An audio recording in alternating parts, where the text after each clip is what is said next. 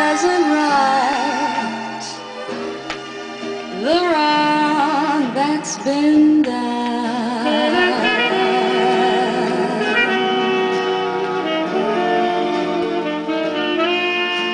I'm sorry.